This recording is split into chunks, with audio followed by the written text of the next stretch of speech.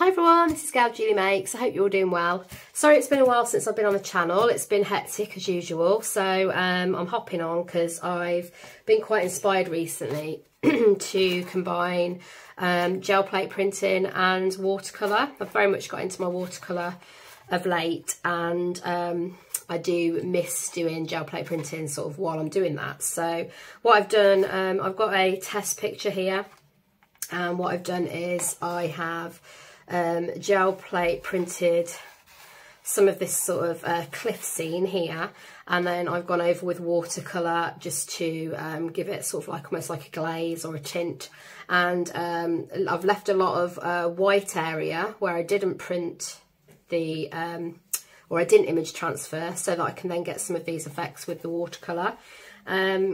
What I've done as well is I've pulled it with matte medium, which I don't usually do with image transfer. I like to tend to pull it with acrylic, but for the purposes of this, where I wanted to keep a lot of that sort of um, area blank from a watercolour, and I quite like the sort of resist effect it's had here. So today I'm basically going to show you how I did this.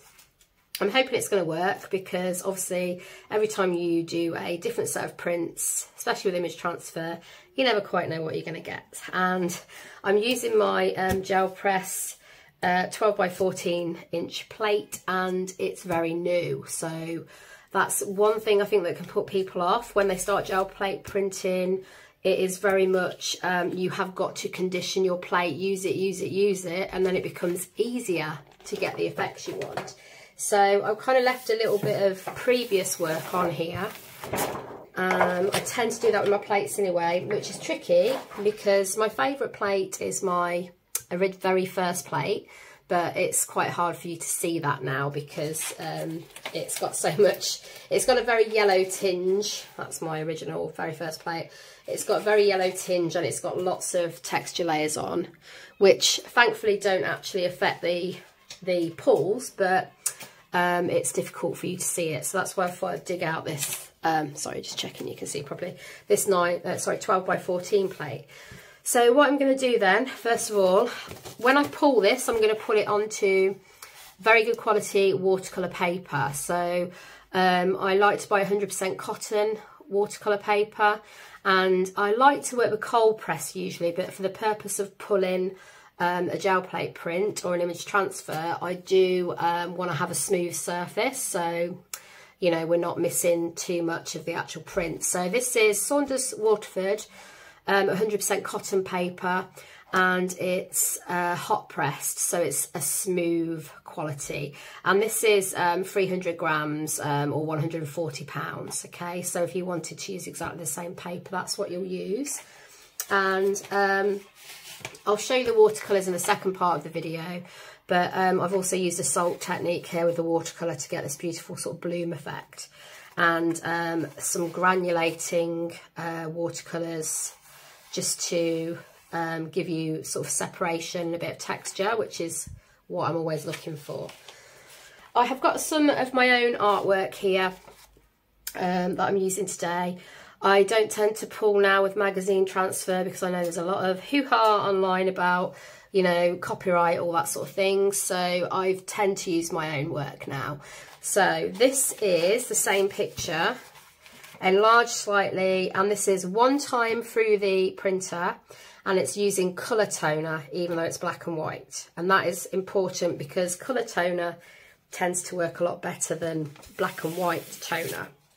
I don't know exactly why, but it's tried and tested by a lot of people. So if you take a black and white image, you know, and you want to have a go like I have, um, this is one time through the printer, laser printed and colour toner, but it's a black and white print. I always use um, Liquitex Heavy Body Payne's Grey. This one works for me generally.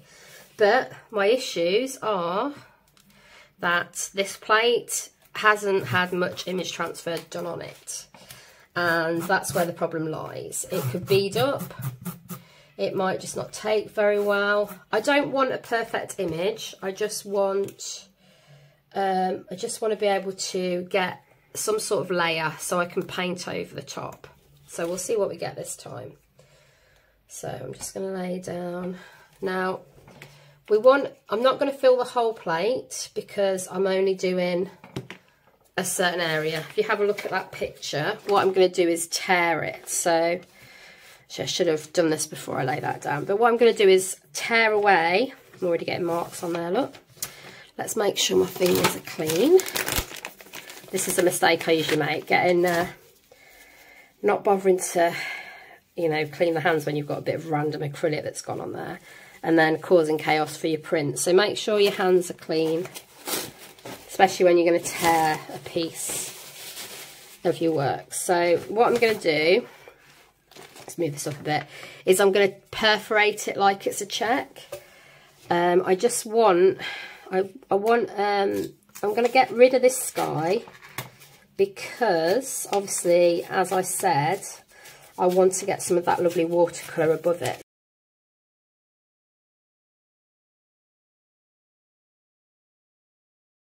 So I'm happy with that.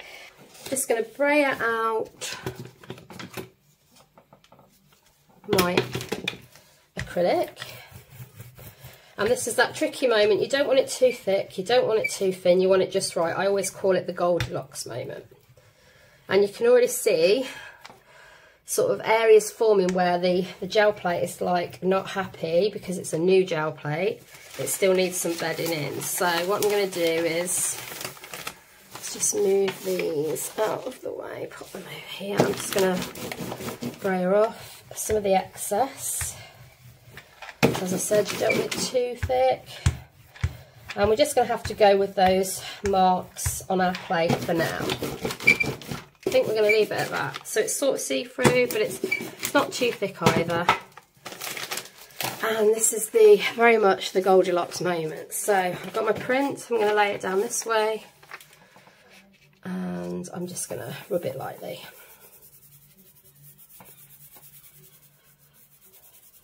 Okay. And we can give it a pull, yeah. We pull that away, just make sure it's a bit more here. We, I can see that this is working well. Yeah. You can always lay it back down, as long as you've got that sort of side here that's still stuck down you can just give it a little bit more of a tiny rub if you want a bit more detail to come through. There we go. It's not the it's not the clearest image, but that's fine. And then what I'm going to do is go in with um, a baby wipe and just get rid of that excess black that I've placed down because obviously you know you it's hard to be exact And if you wanted to get like quite an unusual peering through something effect, you could, oops, you could leave this sort of almost like an aperture around it if you wanted to. It's not the effect I'm going for though, so I'm going to sort of try and get as much of that off as I can because I want to be able to put the watercolour underneath, you see. It's okay to leave some of the black at the bottom. To be honest, I will leave a little bit of that black there. I did that on my previous print, so that's fine. I just want to get rid of most of it so I can add more. There we go, I'm happy with that. Okay, so what I'm going to do then is let that dry and then I'll come back to it and add a layer of matte medium. Okay, I'm back. It is very dry now, so that's good. And what I'm going to do is make sure I have got my watercolour paper ready. Um, so remember, smooth surface, and hopefully that will pick up nicely. And then I'm going to lay down some matte, well, this is, so this is Dina Wakley gel medium, soft gel matte medium. And I'm just going to lay some down on top and I don't want to, like I said, I don't really want to um, get too much around the edge because I want to be able to use that area for watercolour. And I will try and avoid some of the areas as well where I've got gaps here. So I'm just going to kind of roll her over certain areas. Obviously, you can always, you know, move a bit of it around with your finger if you need to.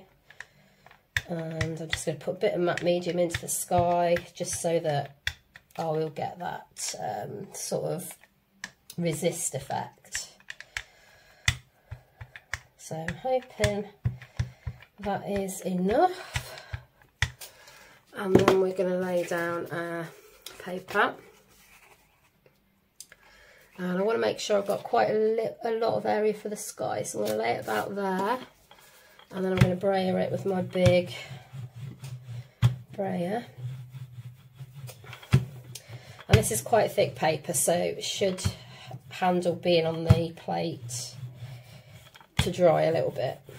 So it's about 300 grams, so it's much sturdier than your average sort of copier paper. And we want that good quality paper because we want to be able to, you know, get the watercolour to work really well. And the great thing about this is that we don't need to have that really sort of perfectly sharp image transfer. Uh, we're just looking for a transfer that's going to be a good guideline for us when we're trying to capture a bit of a sort of photo real quality in the piece.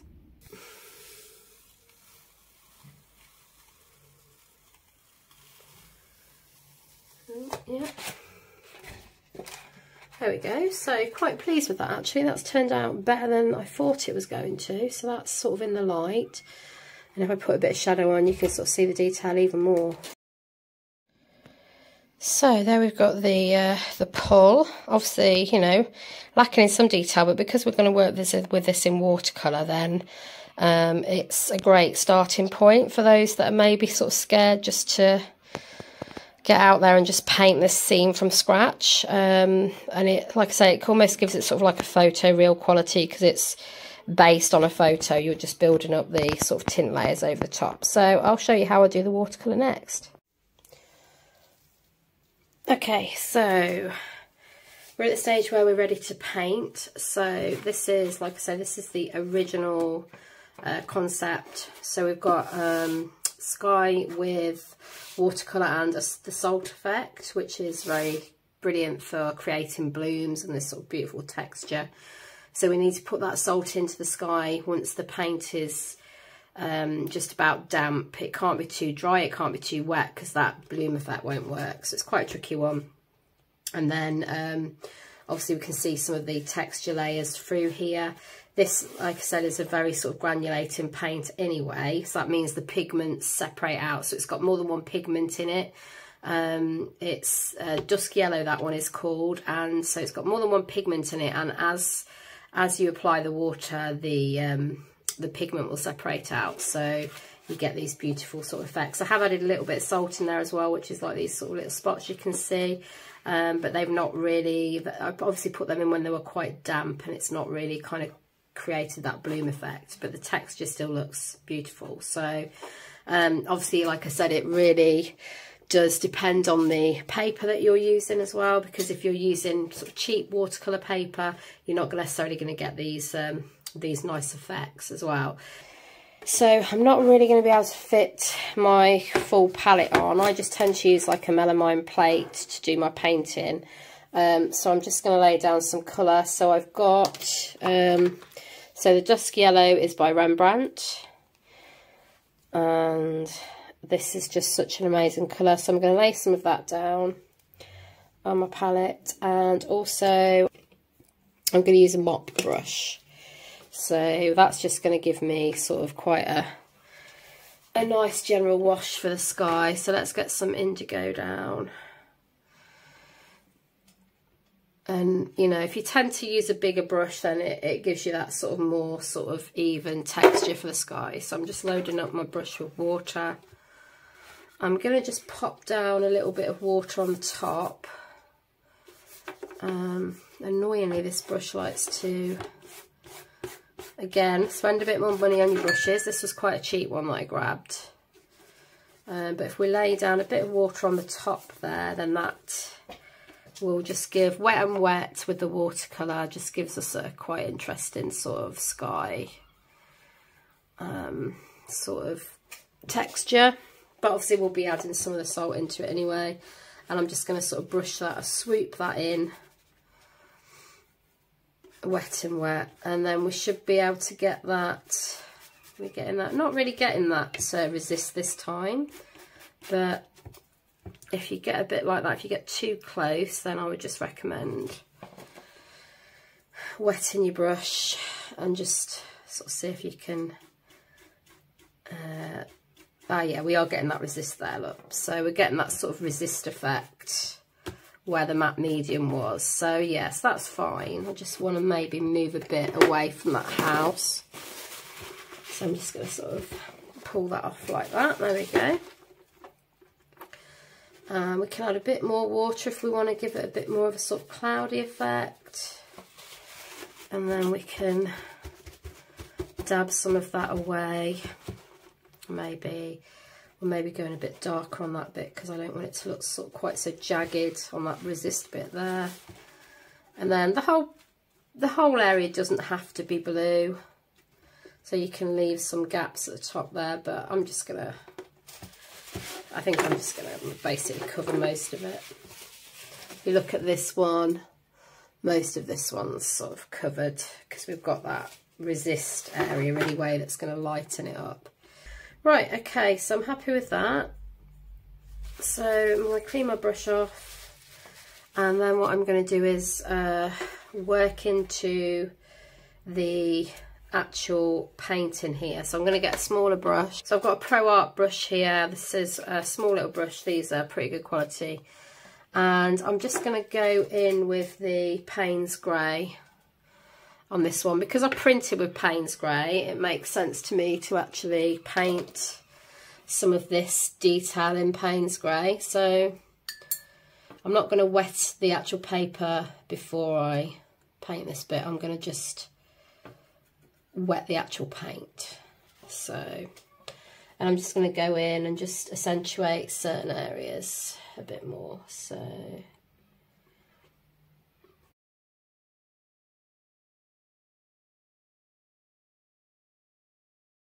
Okay, so I'm just sort of following following the print really. And I'm kind of going for that sort of textural look. So I'm not just painting block, I'm kind of um, I'm dabbing dabbing the Payne's grey on so it sort of gives us that sort of textural feel and I quite like it when I can sort of start seeing seeing the print through it. So I'm just going to follow that a bit more. So, you know, just keep messing with the, the consistency of your um, paint and water till you're happy that you can start seeing through it. Just don't want to lose, I don't really want to lose some of that sort of sharper detail. But I might just accentuate certain bits that aren't standing out as much as they could.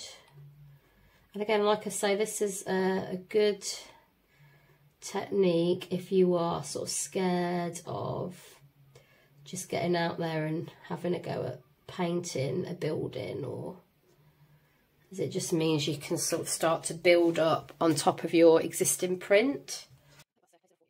So I hope you're enjoying this video so far. Um, I didn't really want it to get too long, but then I also like to show you and talk through as much of the process as possible to, you know, help you out as much as I can.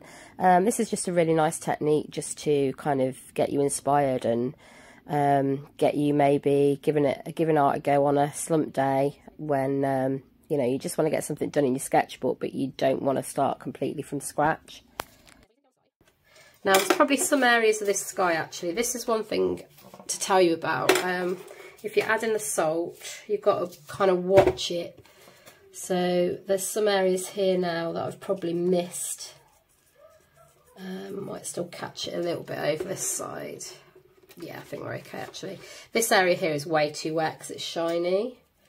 There are some areas though that it should work on.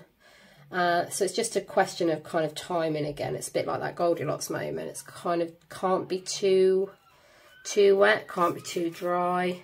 So I have to wait for this bit to dry more. Basically, if you don't get the timing right, it, nothing will happen. it will just um, it would just sort of sit there and just end up getting stuck to your paint and then you might get a slight blobby effect but uh, it would just end up giving you a darker sort of paint area rather than giving you those lo lovely blooms. So I've just focused on that area for now and then we'll leave that to dry and we can go back to painting this area. So I'm just going to go back and just get a bit more of this texture in. See that's too dark but you might decide well, that's quite quite a nice bit maybe a shaded sort of shrub area. So you know it's, it's fine. You just experimenting to see what you like really because we're going to need darker areas to make it look more natural. So I'm just working in some more colour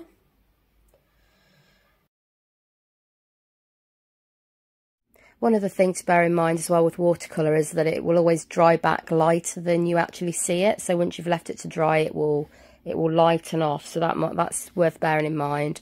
And here I'm just adding in those telephone masts that I lost in the original pull. So you can add more detail wherever you like.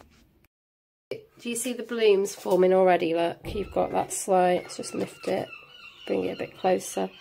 So you've got those sort of nice blooms forming this side. And what we can do is if we want to, we can tilt the paper if we want to get a sort of sweeping effect and it almost sort of drags, sorry, almost sort of drags those blooms down to give you a slightly different effect. So feel free to tilt your salt as you're going. And then we get already getting like a formation here, look, where it's uh, going up to that resist. So I'll lay it flat again for now. And then we might be able to start getting some more salt in these areas now because they're starting to look more damp than wet.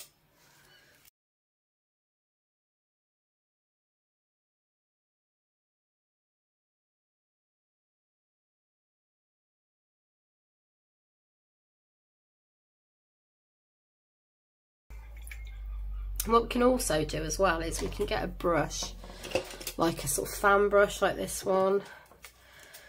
And my water's not great there so I might just spray a little bit of water in here. And we can just sort of dip our brush in the water and we can flick.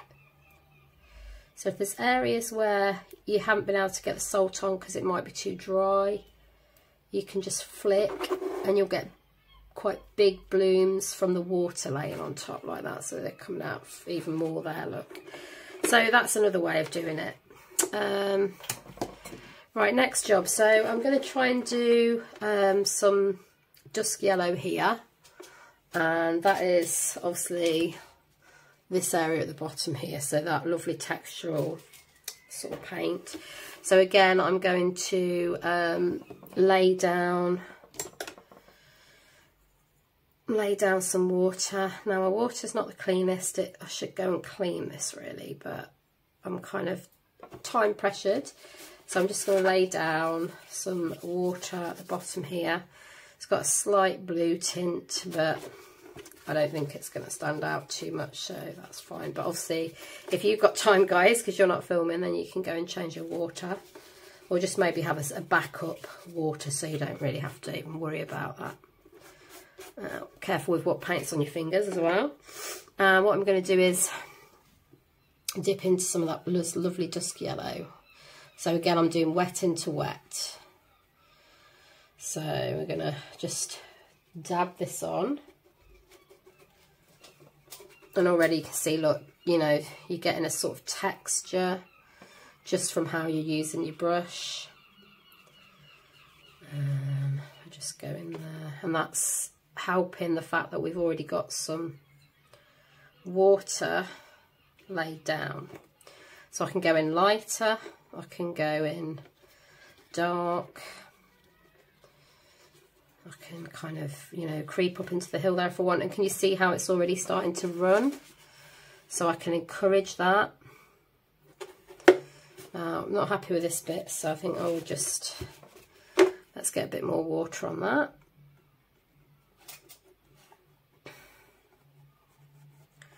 But you can blend it in. You can see it's already starting to sort of separate out there, which looks very nice.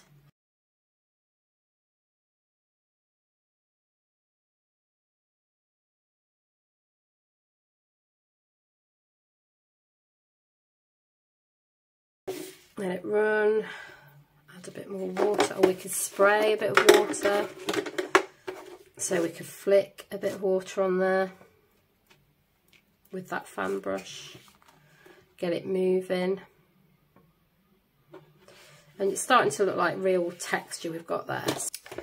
So let's get some salt in some of this area just to imitate sort of, you know, flowers.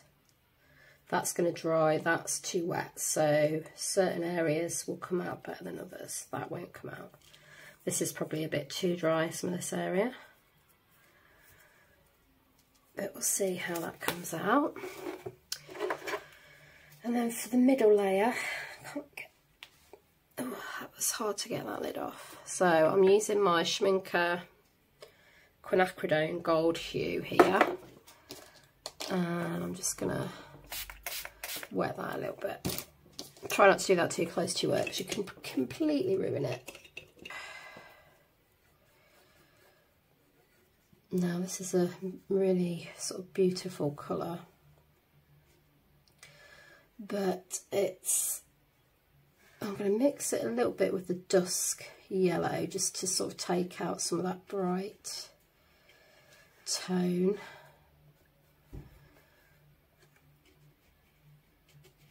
And we're just going to bring in some of that. Now see it's looking quite bold at this point, but I quite like that.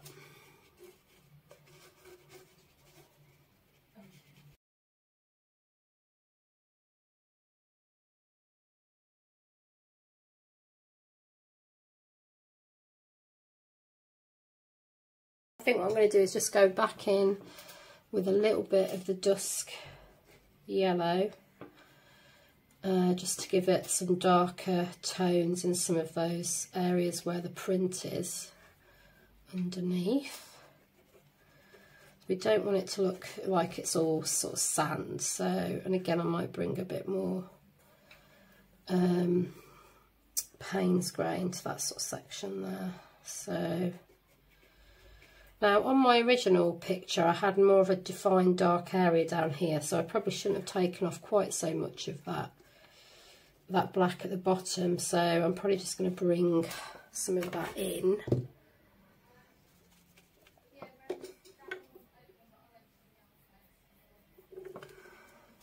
So let's just go for a bit of a bit of the Payne's grey. Maybe sort of down here. Just to give us a sort of another dimension.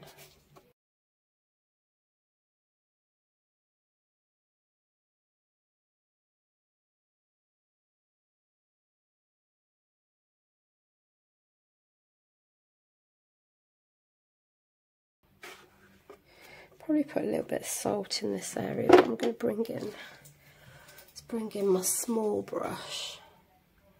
Just go for a little bit of that Payne's grey again. Just, just to bring out some slightly darker areas.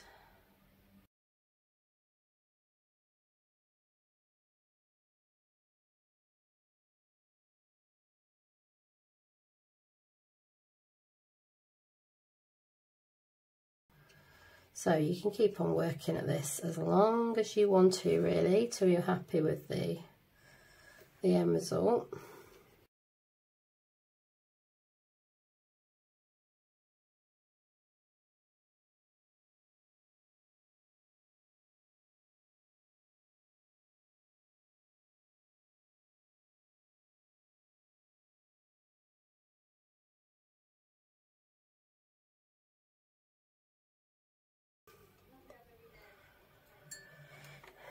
Right, you can see that salt effect now is sort of bringing bits down, which I'm liking. So I'm just going in with some lines with my I'm, again, I'm just damping my paint down a little bit and then just kind of coming in with that sort of pop of colour. And that colour that I'm using there is Burnt Sienna, and that's one of my favourites. I tend to use it in all my watercolour pieces. And also the uh, store card is also a favourite texture tool of mine. So if you've got an old store card that you can cut up, definitely recommend having a go and using that for mark making both with watercolour and on your gel plate. Obviously, just be careful because it's got sharp edges, so you don't want to cut into your gel plate, you should be absolutely fine. Um, so that's about it. I'm happy with this piece um, in the end, and I hope you've enjoyed this tutorial. If you have and you haven't seen my videos before or you're not subscribed, please do subscribe to the channel. If you hit the bell and all notifications, that will let you know whenever I've got a new video coming out.